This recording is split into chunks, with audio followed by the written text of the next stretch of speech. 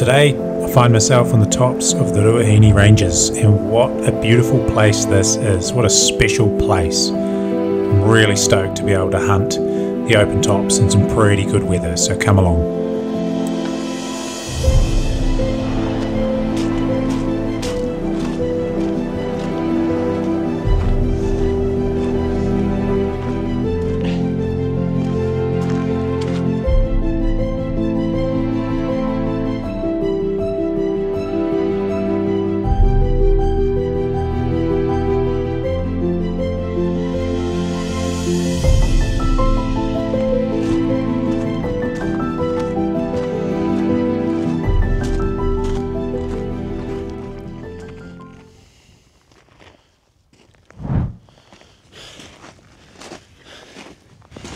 That's where I'm headed, guys.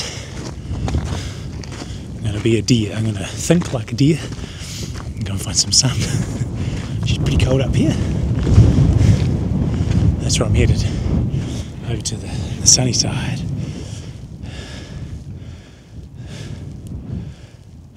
It's just spectacular. so good. Alright. I just spotted uh, my first deer. It's a bit. He's in, of course, he's in a good, a young stag of some sort. My wind is going directly to him, so I'm going to try and get up on this little knob and see if I can get a better look at him. And if he's uh, if he's a good good stag, we'll um, we'll peg him. So he's he's probably only 300 yards away. So I just peeled off the top of the hill, so I'm not gla- so I'm not skylining myself. But um, yeah, the wind is going straight to him, so I don't think I have that long. So I'm just going to hightail it through here, see if we can find a place to set up and have a look and have a shoot. So exciting. Yeah, he's gone. I think he's gone. But to be honest, he's pretty close. And my wind was going straight to him. He was just down in here, I'll show you. Just down. Down the bottom in this little basin on the shingle there.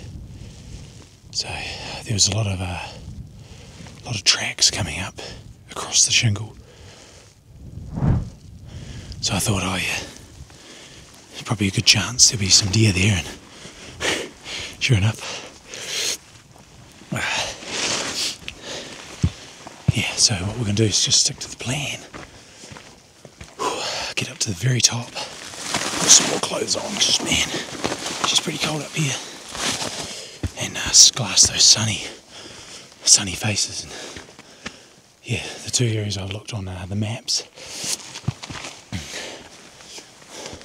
I can actually see animal game trails on the slips from Google Earth. So they're the areas that I'm going to target today. I've only got about an hour and a half of flight left, so today and tomorrow morning. I target these areas. I was really bummed out during the roar, so I really wanted to hunt the tops here. But uh, now it's not clagged in, so here I am. It's cool to be here. It's magnificent here. It reminds me, it's about the closest to what we can get to the South Island open tops up here, so it's really cool. It's really beautiful. Right, let's go look for some deer. All right, I've just come over the top of the main divide, so I'm going to glass this area in behind me now for the rest of the night. Yeah, I've got about, I don't know, an, uh, half an hour of light before I need to start travelling back down off the top, so see if we can pick something up. Yeah.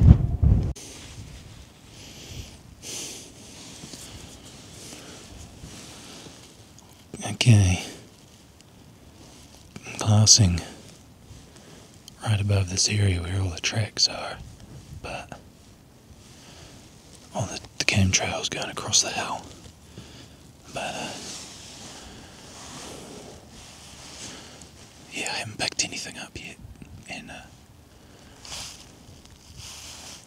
I don't have much daylight left. There's a lot of game trails, a couple hundred meters below me. So I'm just hoping maybe uh, something walks out and I pick it up Yeah.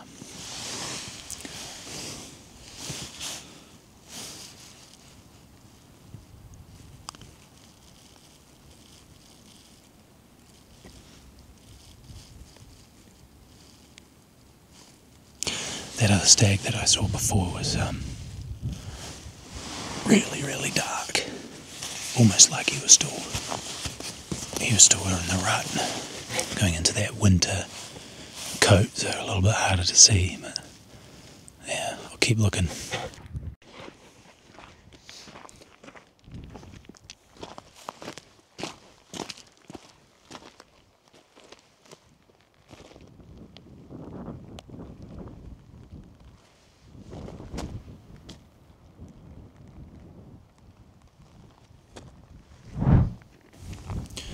Just uh, moving back down to camp now. It's pretty dark. The camera's actually picking up quite a lot of light, so I'll be just headlamps out in about five minutes. But uh, yeah, didn't see any more deer. Only seen one. Well, I shouldn't complain. I've seen one deer so far, which is uh, cool. So I've never come into this area either. So anyway, back to the hut. Selected a hut tonight, which is quite luxurious because I was going to camp up by this tarn, and then I thought, nah, I'm going to treat myself to a hut for once.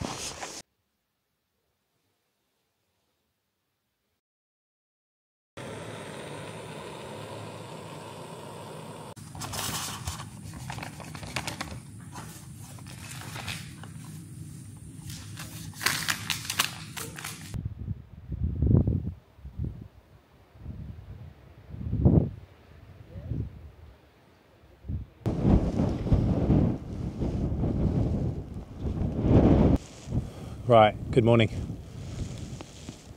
Back on the tops, and uh, it's pretty windy today.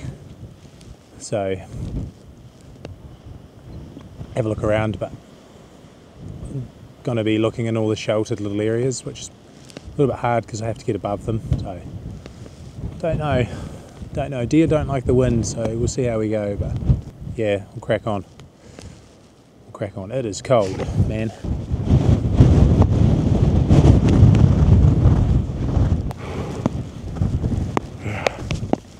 Top of the world though. On top of the world. Pretty cool. Pretty cool indeed. Alright. Up the hill we go.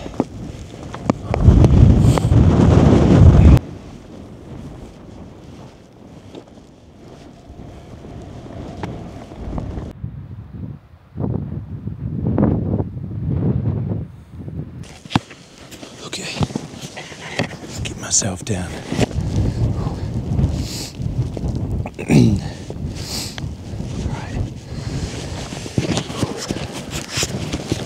Just uh, using a bit of cloud to get myself down to this glassing point. Gives me a pretty good vantage over this area below me, so just hope I can see the cloud covers come over right now, so I'm pretty sure it'll pass again, but so I'll move down and through here and do some glassing. Let's go.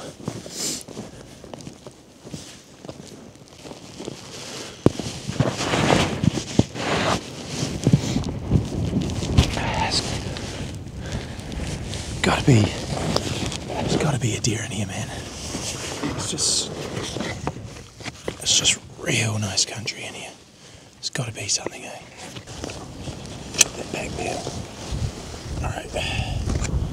Oh no. Got one of these guns that I don't want to scratch now.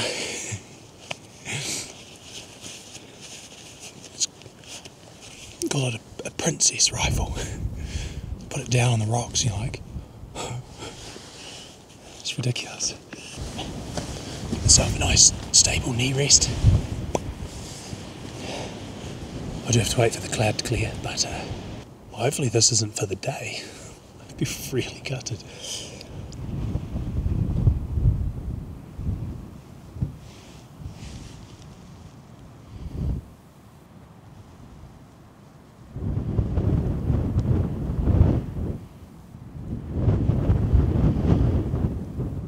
Man, it's just a lot of fog.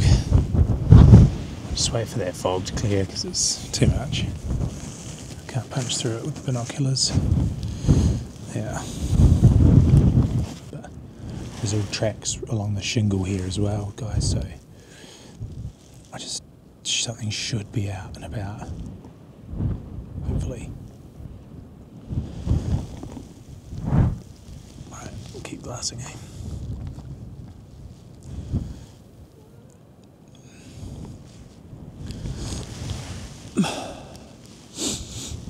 Here we go. It's clear. Now.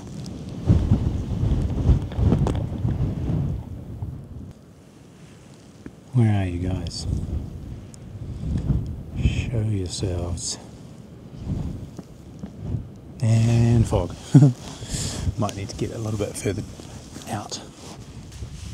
I must have had my my bleenie in my bag with my last deer carry out. I forgot to put it in the wash and put it through the wash.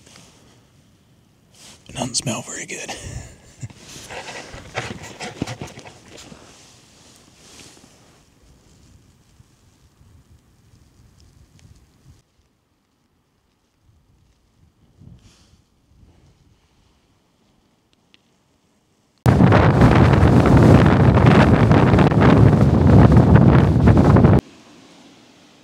Okay, so I just glassed all of this area and didn't pick anything up, so I it's just a bit too windy for them to be on the tops. So if you have a look, there's plenty of tracks, plenty of tracks down on the shingle here. Uh, deer obviously bed up in the bush down over here. Maybe out onto the feed face here It's pretty sheltered from the wind over here, but nothing. So, nothing. So, um, what I'm going to do is move, move across, probably move out of this basin area. Up and behind me there, up and behind me here is just the wind's just absolutely whipping it. So don't think there's any point going up there. We'll move out of and stick to the east side. See if I can pick something up on my face. But day's getting on a bit, so yeah.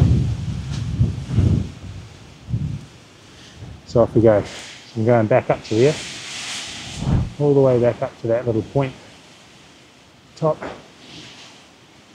and then along the tops, along the tops and back out to a different basin. So, Oi. I love this.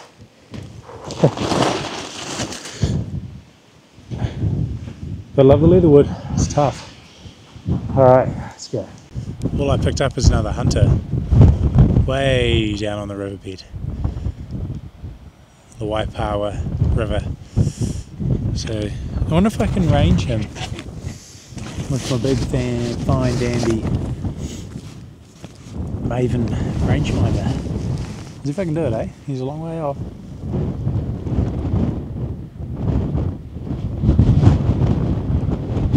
Gonna have to put the camera down because it's too shaky.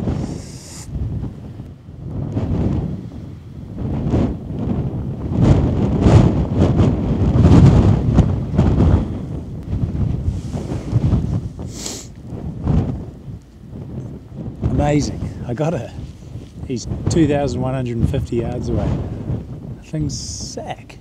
I had to use a big rock to, to bounce it off, but pretty impressive, man. That's like in the wind, handheld, not on a tripod. It's pretty cool. If I'm really honest, I didn't come all this way and walk all this way up the tops to shoot a deer. I really came for the absolutely stunning scenic views and the beautiful country that the Ruahines offers for hunters. Places like this and experiences like this really are spiritual for me. I spend a lot of time with God when I'm in the hills and really enjoy that aspect of my trips. I say that because I'm becoming more and more convinced that there's nothing in the creation, there's nothing in the physical world that can satisfy our hearts and our souls more than the pursuit of the one who created us. And that's really important to me.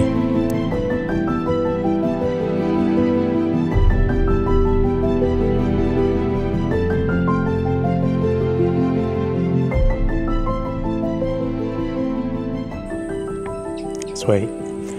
Back down at the car park. Whew. It's a big walk.